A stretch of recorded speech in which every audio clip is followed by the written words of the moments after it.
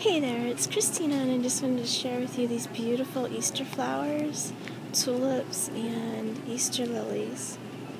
They are so fragrant and pretty.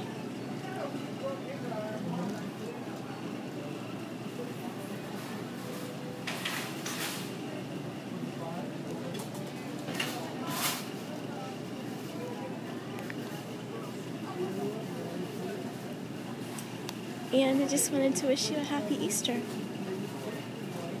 Spring 2014.